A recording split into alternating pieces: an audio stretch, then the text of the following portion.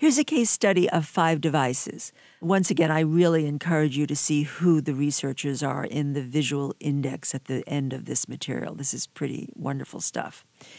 So we have five devices, three on the right and two on the left. Notice the composition, not boringly lined up in a row.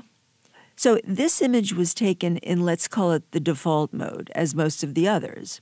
So to remind you, this is with reflected light coming from below the glass.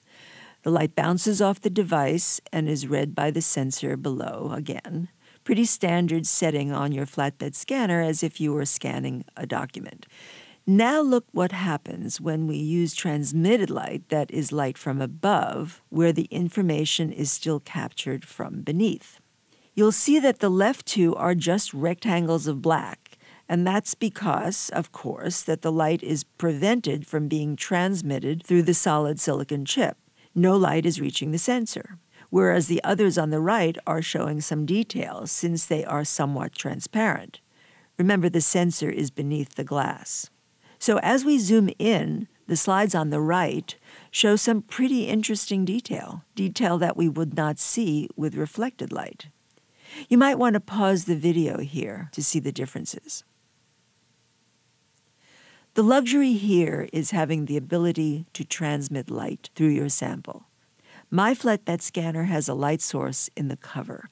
I set my scanner in the transmitted light mode as if we were scanning film or other transparent material.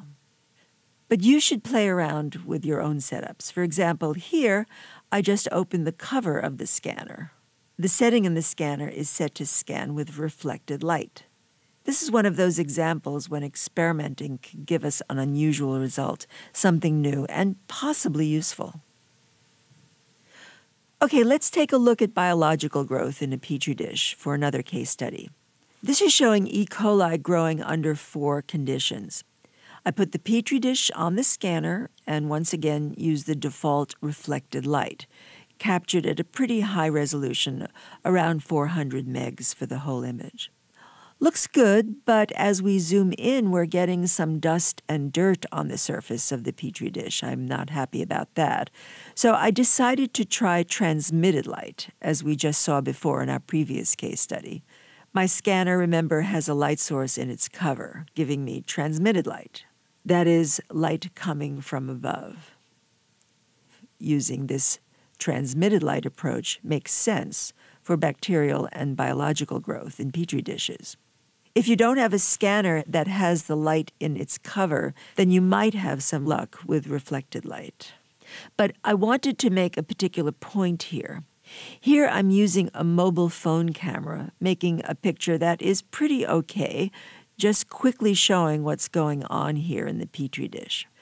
But compare it to this high resolution scanned image using transmitted light, and it's a whole different world.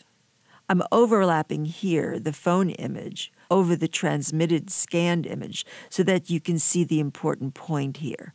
The phone image is considerably smaller in terms of its file size, so that when we zoom in closely on the computer screen with each of these images, we see pretty significant differences in resolution. In the scanned image of about 400 megs, you can see remarkable detail as we move into the image. But the phone image, well, let's just say, is not totally remarkable. So it depends on what you'll be using these images for. I really do want to encourage you to get the very best image you can from the very beginning. It's the difference between spending one minute on an image and six minutes, let's say. My hope is that you see that spending the additional five minutes is pretty much worth the time. Don't you think?